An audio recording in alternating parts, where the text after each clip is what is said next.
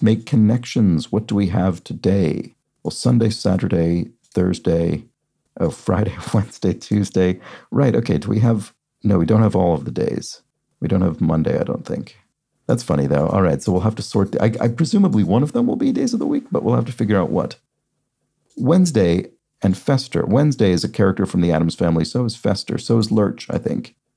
And Thing. I always forget which of these are Munsters and which are Addams family, but I think these are all Addams family. And I don't see any others. So let's try it.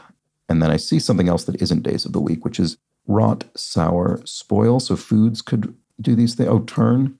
That's a way to say it's gone bad. And I don't see anything else, so let's go with it. Uh, can I do this one in a minute? Probably not. Black Cat, Black Friday, Fat Cat, Fat Lip, uh, Fat Tuesday, Mardi Gras, Fat Chance. Oh, I'm so I'm so close to being able to do this. And then what are these? These are just days of the week. Those are the connections.